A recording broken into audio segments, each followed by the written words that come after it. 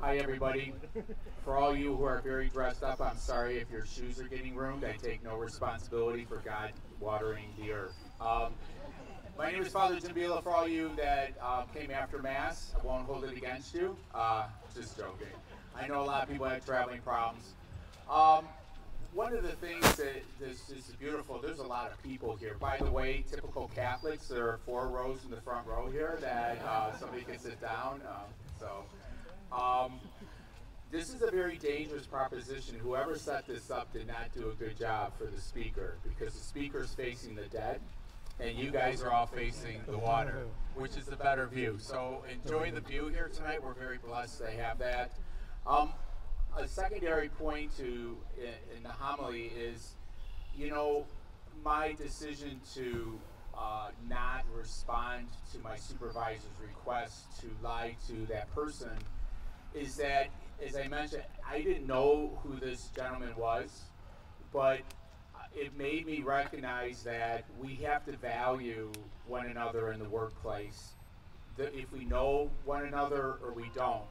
And you know, Jesus always tells us that we have to love our neighbor, love our enemies. He doesn't necessarily say we have to like each other in the sense that we all have different personalities. And so sometimes personalities are just going to clash because of our person dominant or passive or task oriented type of personality. That's that's God made us to be unique in that respect. But one of the challenges that we have, even within parish ministry, is helping one another respect who we are and the value, the dignity we are as a person. So, as a, a group of young professionals, um, thank you for being here and for your witness to, to the faith, uh, to our Lord, and then hopefully just trust that Holy Spirit to help move you in the workplace so that you are always um, valuing one another even if we're not necessarily crazy about one another. Okay? So thanks again. Welcome to St. Paul. Uh, my understanding is that uh, the priest is supposed to hear confessions now. Um, so I guess that's what I'll be doing. But um, just joking. So I, under the carriage, um, it's called the carriage because that's where the horses used to come in, um, right before you were even born. Uh, but anyways, it is the carriage, and that's where the horses would come through and drop the people off at the house. Uh, so that's the rectory right there, and the port. There's a side porch there, not the front porch, the side porch. Um, I'll be over there if anybody wants to go to confession. And if you are um, in line, um, just stay on the other side of, of the carriage porch so that there's privacy for uh, speaking. Okay. Thank you very much again for coming. I really appreciate it. All right. Thank you, Father Jim. Um, just another. Uh, housekeeping item. If you need to use the restroom, they'll be in the same uh, lobby area as you went into the common area, uh, right around the corner in the church if anyone needs to do that during the talk. Um, so thank you all for joining us this evening. Uh, tonight we have someone uh, joining us who spent his career um, actually in, in, the financial audit field, uh, which is very interesting. So Dan Torpey, he knows what it's like to be with clients on a daily basis that maybe don't share uh, his same values. Most notably when it comes time to audit him or audit them. Um, so, a dedicated Catholic man, Dan and his family attend St. Monica Parish. He's also part of the National Board for the Young Catholic Professionals and is heavily involved with the U.S. Um, Olympic weightlifting organization. Um, so, please join me in welcoming Mr. Dan Torpey. I think I'm. Uh, I think I'm mic'd up here. How is this? I'm going to have the people. I need to be in the middle. Um, I just came back from a pilgrimage. I was in Medjugorje and I landed Sunday night, 28 hours of traveling. But I met Trey and Nicholas in a pilgrimage last year before um, COVID hit, I think in February. We were opening up uh, the Louisville chapter of YCP and we did a pilgrimage in Kentucky to the uh, Abbey of Gethsemani, where Thomas Merton was at. We visited other places in Kentucky, I think two or three distilleries. So it was a very spirited pilgrimage. So of course that's when Nicholas recruited me, like, come on, you got to speak, and well, here I am. So I'm going to talk about. I'm going to give you three stories, and it's really my progression on how I look to find value in others in the workplace, how I look to find God in others, and it's really been a progression for me in my career and in my life. One's going to be about a person I work with, actually on projects here uh, in Detroit for a couple of years, so I'll talk about that. The other is really working on the art of listening and having, having a mechanism to be a better listener. And then finally, I'm going to talk about forgiveness. And those three things, themes, will make up my talk. And then if we want to have time for Q&A, we'll do that. So uh, just a little bit about me. Um, not from Texas. This is actually a New York accent, born and raised in Queens, New York City. And one of six kids. My, I'm second generation Irish American, so all my grandparents came over from Ireland. And um, like all Irish people, I met my wife in a bar, actually, Fourth of July weekend, so our anniversary is coming up. We ultimately moved to Dallas, and we have four children, ages 22, 20, 20, and 18. Yes, I know their names Sean, Bridget, Brendan, and Mary Kate. And uh, I'm an accountant, I do investigations. But enough about me, let's get into the story while we're here. So I call this story The Ties That Bind. Leonardo da Vinci, that's right, Leonardo da Vinci, you know, the famous uh, Renaissance artist that, you know, painted the Mona Lisa, stood at a wall perplexed didn't know how he was going to get all 12 apostles into a painting that he was commissioned at the age of 40. And it was over a dining hall, and he wanted to have a realistic point of view of people sitting in the dining room that they would look up and see all 12 apostles and our Lord, and he didn't know how to do it. And a person turned to me and said, Dan, do you know who helped Leonardo da Vinci paint this painting and figure this out? I don't know, I was in Milan on business in the early 2000s, and we took some time off and we saw some of the sites. he said he was Leonardo's mentor. And I don't mean like a mentor that you may have at work where you have counselors and mentors and they kind of check the box for your reviews. This was a teacher, someone who guided him. And I recently read an article about mentors where it illustrated a mentor is sort of like the double helix strand of the DNA strand where the protege and the mentor relationship are tied. And that's how Leonardo and this person were tied together. He told me this person was an accountant. An accountant, really? Who is this person? The person who helped Leonardo da Vinci's name is Luca Pacioli. Luca Pacioli was a mathematician. He was an accountant. He's an advisor to popes. He's also a Franciscan friar but he's also best known as the father of accounting. He wrote a text in 1490 that summarized all the knowledge of the double entry accounting system, footnotes, and my client said to me, Dan, that's still in use today. The work that you do today in the 2000s all dates back to the same principles of Luca Pacioli. And I'm like, okay, did Luca Pacioli teach Leonardo da Vinci accounting? What's, what's going on with this story? He said, no, he taught him what's called perspective. He taught him the mathematics of the 3D in a painting of what's called a vanishing point when two parallel lines go in the back, hit a perpendicular line to give depth. And I thought, how cool would it be if my mentor was Luca Pacioli as an accountant? And then I started thinking, I had a good mentor myself, you know, growing up in the profession. My mentor was a five foot five, small framed Jewish man, former insurance executive and engineer named Les Lowenstein. He wasn't a Franciscan friar or an accountant. but I worked with Les. He was probably 30 years my senior, and, and I met him in my late 20s. And I didn't even realize working with him the first year or so how great of a mentor he was until I started thinking about all the bad bosses I had all the bad mentors I had, like AJ. AJ, you go in a meeting with AJ, you need like three or four copies of papers and statements and schedules to meet with AJ. He, all his meetings went over time. He was never prepared. And it was awful. He'd be smoking. That's when you could smoke in offices back then. It was a mess.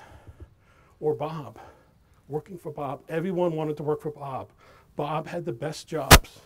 One problem Bob was an alcoholic and when you made a mistake, Bob didn't attack the mistake, he would attack you individually. Very hard working for Bob. Or Peter. I enjoyed working with Peter. Peter was very good, very nice, very intelligent, But he's always looking at his watch, trying to time how quickly you could do things. And he really didn't have you think he would set up schedules and just have you input numbers. So it was like a race. You'd be like inputting stuff in your computer, you'd be looking at his watch, you wouldn't really learn. Or Suzanne. No one liked working with Suzanne. She was tough. I enjoyed like working with Suzanne. She was thorough, always prepared, very efficient, but she was kind of cold. She never really asked me about myself or what I wanted to do. But Les was different. Les was always prepared for meetings, right? He taught me about the meeting before the meeting in business. That's where things get done. And Les was different. He really didn't hone in on the person if he made a mistake. He focused on the issue. But also not just the issue, but how would our findings impact our clients? What would their reaction be? Les wasn't focused on the efficiency of a meeting. He was focused on the effectiveness of the discussion. And Les didn't tell me what to do. He would guide me through the Socratic method of asking questions. But the biggest thing Les did for me was that he informed me as to who I was and what my skills were. Because I was 30, 31 or so, not sure what I want to do in my career. And Les would affirm my skills. He said to me, Dan, you can be a partner here. You can build this group. People enjoy working with you. You provide a vision to them. People, you motivate people because you're honest. And when you make mistakes, you tell people you make mistakes. You tell pe- the clients you make mistakes. And they're attracted to that. You also give work to people based on their skills, not just pushing work out to them, but challenge them at times. And Les helped me understand what affirmation was. I'm one of six kids. I had great parents, but I was never the best ball player, never the top student, not the best band member. And my parents were busy. I don't think I was really affirmed by my parents. But Les taught me what affirmation was to find the virtues and skills if someone has and tell them that they have it. And that doesn't always happen in the workplace. That empowered me to then replicate that and do that with other people I work with. Ultimately, I became partner. I built the practice with multiple partners and actually wrote a book on insurance whose forward is by the director of risk management from Ford Motor Company. And I wrote an article on leadership, which one day was picked up by a professor in Cornell, and he invited me to speak, the dean of economics, to their uh, program on leadership. And the same day I got the call was the same day I found out that Les had passed away at age 74. He had Crohn's disease, never really spoke about it, and he had passed away. When I gave that talk, I honored Les, and afterwards there was a Q&A, and the dean came up to me and said, Dan, thank you for giving the talk. You confirmed for us our belief that leaders aren't born, leaders are formed. And I'm sure Les would be proud of you with what you've accomplished here. And so that's part of my message is that leaders are formed and make sure you get a mentor or mentor someone else to have that communication. And I've had other mentors and other people to inspire me. One thing that inspires me is art. Another one of my favorite uh, paintings is another Renaissance artist called The Calling of St. Matthew.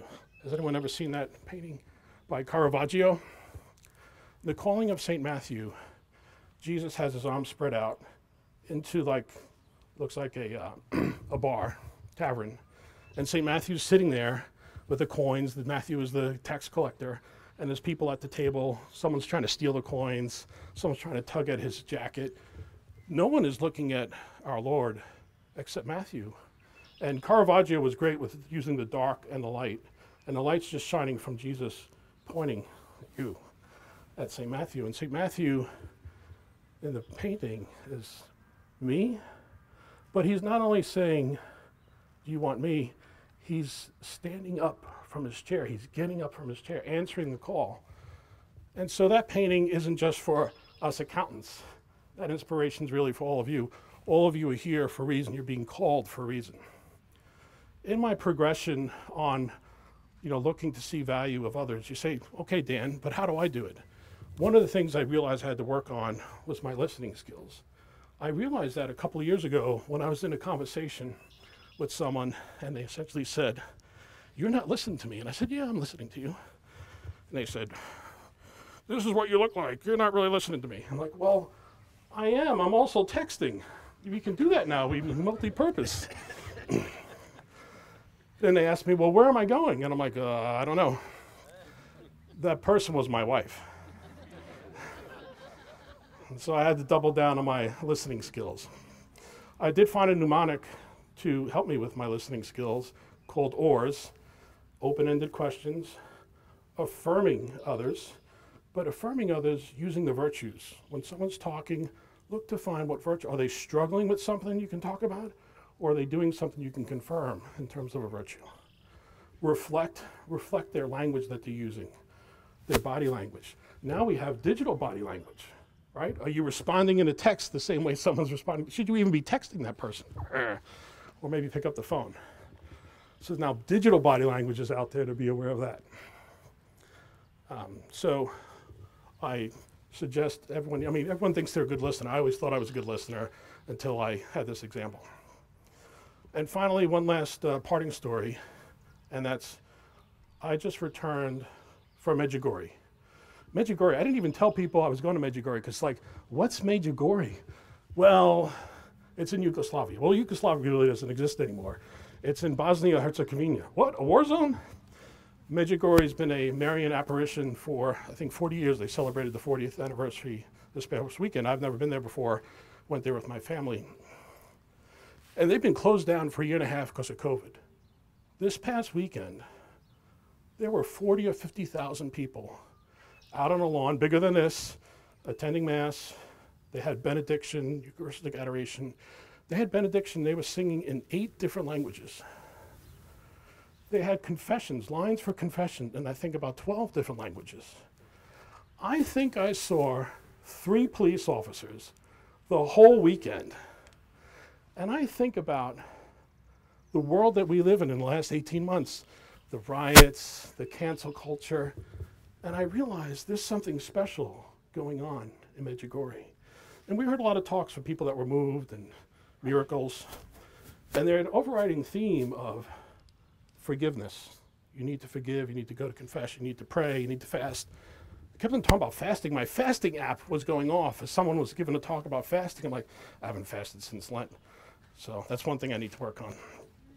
But there was an overriding theme, and my daughter, my 18 year old daughter, and I were taking notes at one of these talks, and I'm looking at her, I'm like, of these five things, I'm doing like half of one of them. I got to get my game up. But I realized the message of peace of Medjugorje is something that I'm lacking at times, that holds me back, that I'm angry at times, I don't forgive my kids at times, and that blocks me from understanding who they are. And when I'm able to forgive them or myself, I have an open heart and I can listen more. And when I can listen better, I can hear who they are, what they're saying, and I can affirm others in my family, my wife, or in the workplace the way Les affirmed me. And I have this new eh, found energy to affirm others now the way Les affirmed me. I want to affirm others and see God in others and let them know about it because I believe that will change the world. I want to bring that peace of Medjugorje in the world we're in today. And that's my mission here as I stand in front of you. Thank you, and I'll take any questions.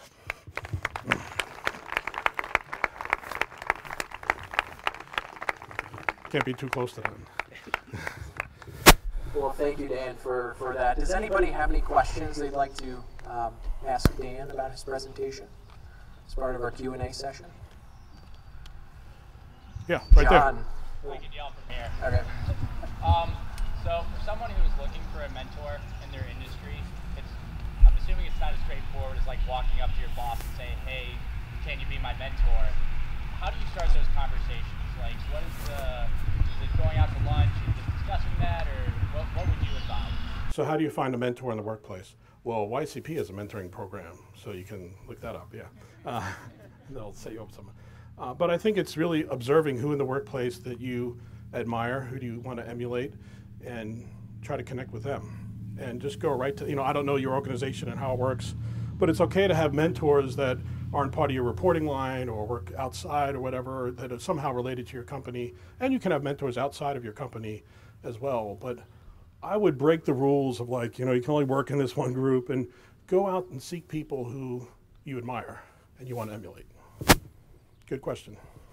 Yes? I think you gave a good example with uh, your old boss, Wes, about how to be a great mentor. Um, but can you flip it around? Like, what are some things that good mentors don't do? What are some things that good mentors don't do or good proteges don't do? what are some good things? Oh, that good mentors don't do. Well, tell you what to do, like do this or do that.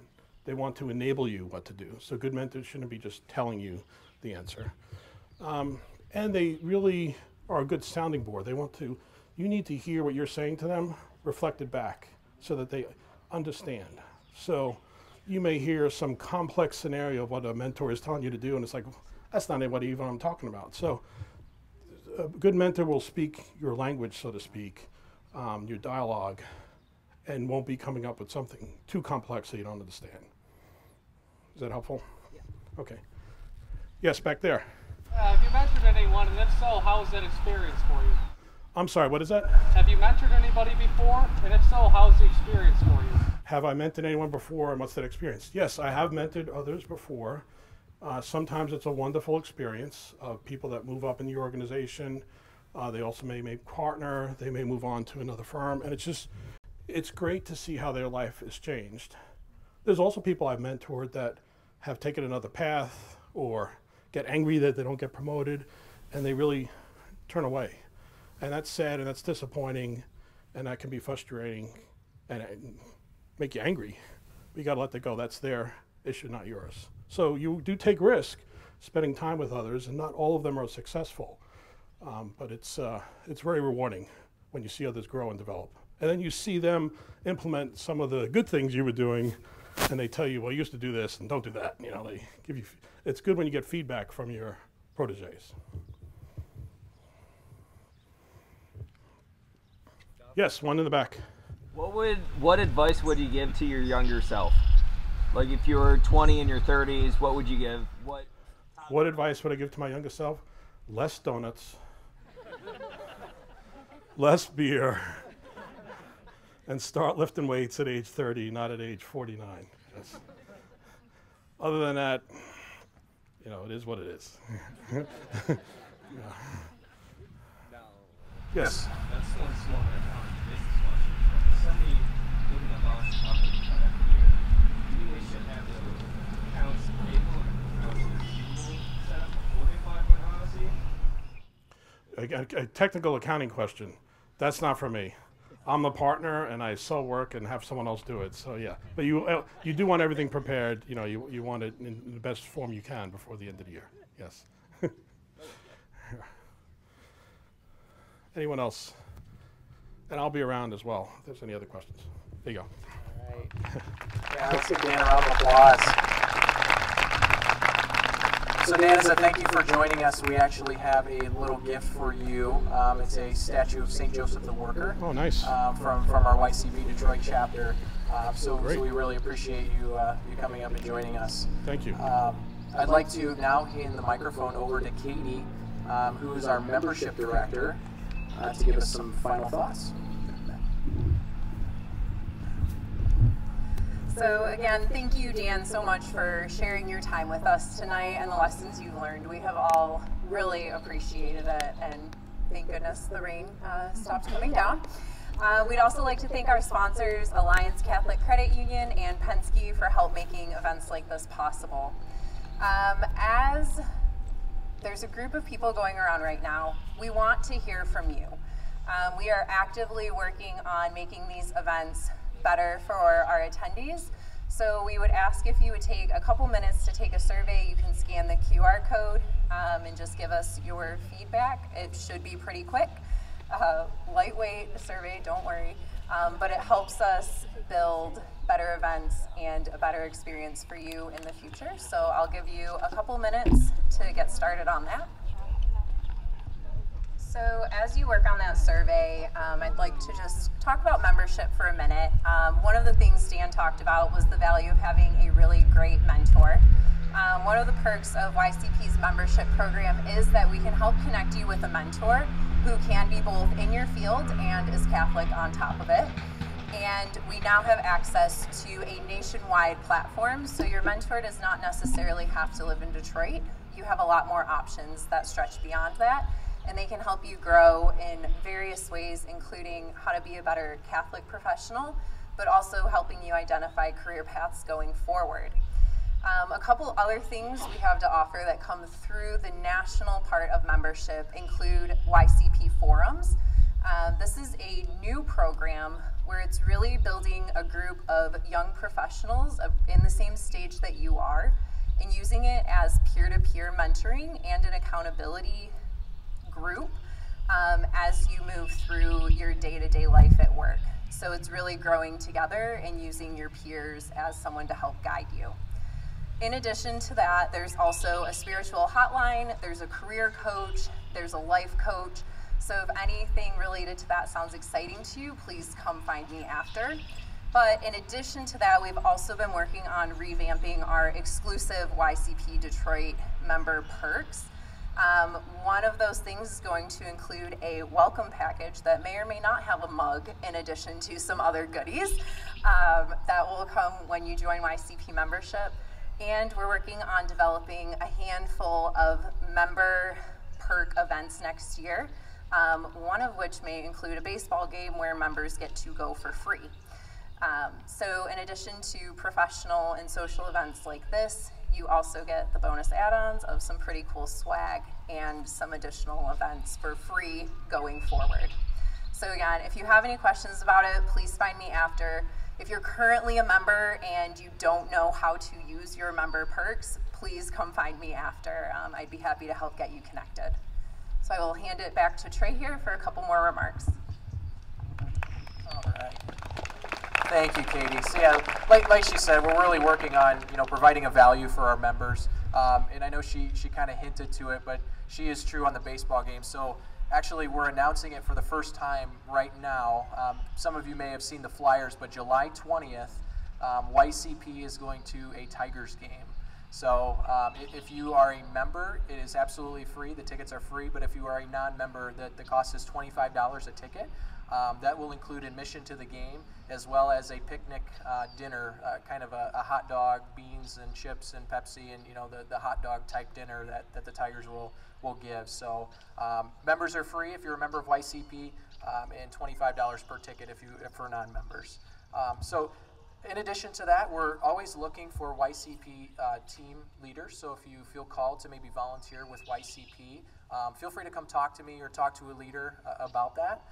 Um, again, make sure that uh, when you walked in, if you don't have a name badge, make sure you signed in. Um, let us know you were here. Maybe we can follow up with you, uh, whatever the case may be.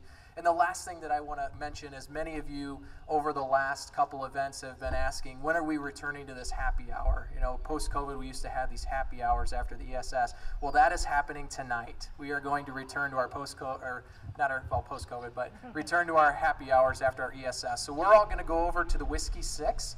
Um, it's just a couple miles up the road, six minutes away, and we are going to return to our, uh, our post ESS happy hour. So feel free to come join us for a beer, um, and we'll, we'll continue our networking there. Um, and as all, we always do with all of our YCP events, we don't have the cards today, so if you know it, uh, please go ahead and feel free and follow along with me, but we'll end with our St. Joseph the Worker uh, YCP prayer. In the name of the Father, and of the Son, and of the Holy Spirit, amen. Saint Joseph, by the work of your hands and the sweat of your brow, you supported Jesus and Mary and had the Son of God as your fellow worker. Teach me to work as you did, with patience and perseverance, for God and for those whom God has given me to support. Teach me to see in my fellow workers the Christ who desires to be in them, that I may always be charitable and forbearing towards all. Grant me to look upon work with the eyes of faith, so that I shall recognize in, in my share in God's own creative activity and in Christ's work of our redemption, and so take pride in it. When it is pleasant and productive, remind me to give thanks to God for it, and when it is burdensome, teach me to offer it to God in reparation for my sins and the sins of the world. Amen. The Father, Son, Holy Spirit. Amen. Well, thank you all for coming out tonight. This has been a great turnout. I'm glad to see so many fa new faces returning and many new, fa new faces to YCP in general. Um, and we hope to see you over at the Whiskey Six for a little post ESS happy hour.